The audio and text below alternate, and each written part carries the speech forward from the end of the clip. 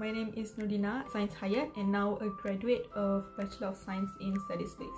Saya Aiman Fairuz Fahmi, jurusan Sains Matematik dan Sains Hayat.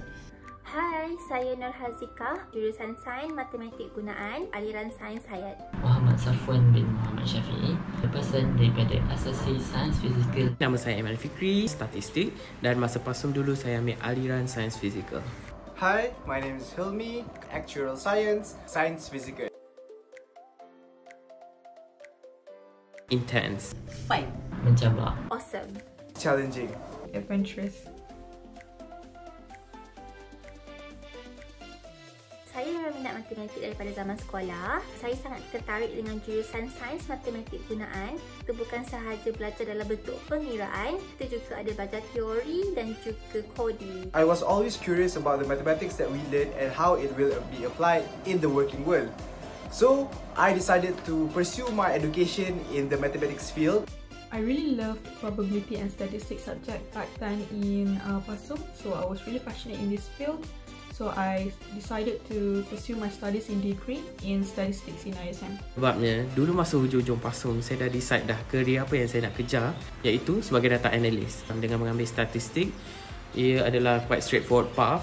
Saya nak belajar lebih dalam apa yang ada pada seni maths tu sendiri. Saya memang minat dalam bidang matematik dan juga kira-kira ni lah. Apa salahnya uh, saya sambung bidang yang saya minat lah. sangat best dan enjoy. Lecturer-lecturer pun sangat sporting, sangat membantu dan juga sangat responsif.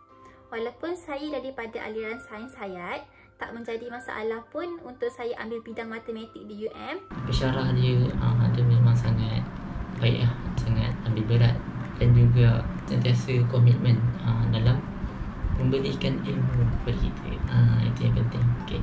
Apart from learning all the mathematical theories, we are also implementing its applications using software such as RStudio, MATLAB, C++, and so on.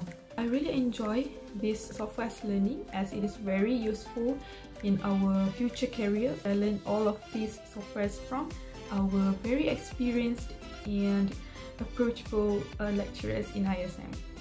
Senang cerita tak dapat lah dekat mana-mana sebab lecturernya seriously sangat-sangat-sangat sporting apa kita nak tanya semua dia akan jawab insyaAllah. And there is no such thing as silly question. Okay that thing is seriously important because that will help us throughout our journey in education at ISM The learning process was really tough but thank God I got my batchmates to help me out throughout the journey.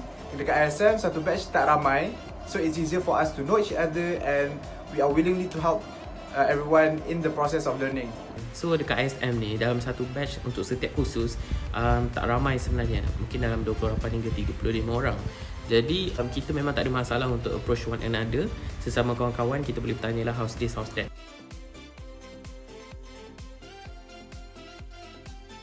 Yang menarik tentang ISM ni ialah kedudukan dia yang berada betul-betul di tengah-tengah fakulti. Dan kita tak adalah terasa jauh sangat. Tapi yang menariknya, uh, ISM berada betul-betul di sebelah KFE. Jadi kalau untuk students yang rasa penat ataupun masa 10 minit break waktu lecture tu lepas, ataupun lepas kelas, kita boleh terus pergi KFE kat sebelah. And secondly, ISM ada student club which is specifically untuk ISM students. So masa ni lah kita boleh berkenalan dengan senior ataupun kawan-kawan kos lain yang kita tak pernah kenal sama ni. So masa-masa ni lah kita boleh merapatkan silaturahim.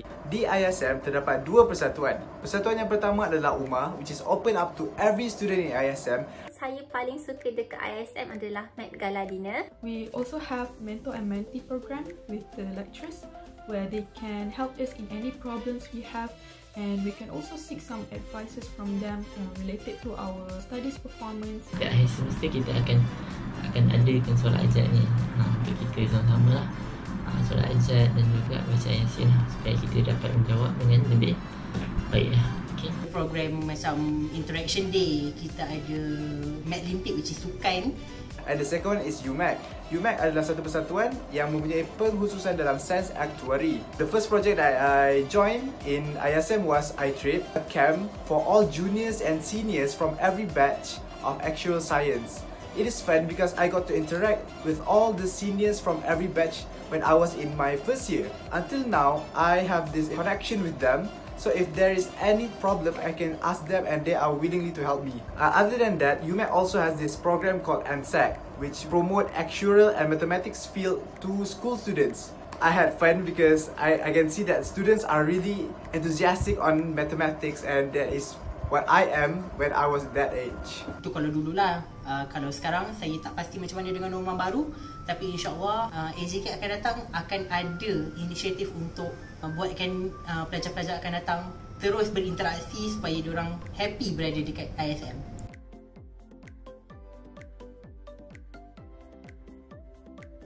And advice to all of you, even though there is a hard time studying, remember this. If we, the seniors, successfully went through all of these hardships, then why couldn't you? Thank you and good luck. Believe in your dream. Kalau kita betul-betul ada azam, betul-betul ada tekad, betul-betul ada niat, insya-Allah semua yang kita nak buat insya-Allah akan jadi kenyataan. Siapa yang masuk ASM ni jangan sempitkan fikiran ni hanya untuk belajar akademik.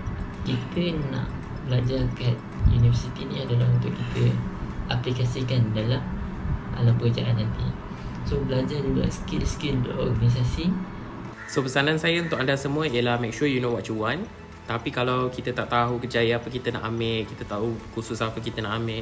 Jadi um, cadangan saya lah ya, Se- um, just Google kejaya apa yang demandnya akan tinggi in the future and then you list out lah kejaya-kejaya yang anda minat tu and then look uh, for the right course for that career and then lepas kita dah tahu course apa nak ambil kemudian kita tengoklah uh, subjek tu adakah kita rasa berminat ataupun kita rasa tertarik untuk uh, belajar tentang subjek tu? So uh, that's all from me. Make sure you know what you want. Thank you. Belajar bersungguh-sungguh, jangan takut nak ambil bidang matematik especially dekat UM and fahamkan ilmu betul-betul sebab itu tujuan kita berada di UM and pandai manage masa between study dan juga enjoy. All the best semua. Don't give up, trust the process, and remember, the journey of getting there is just as important as the end goal. The experience and the memories that you got during all the seven or eight semesters is way important and you will cherish it the most. Good luck and see you at ISM.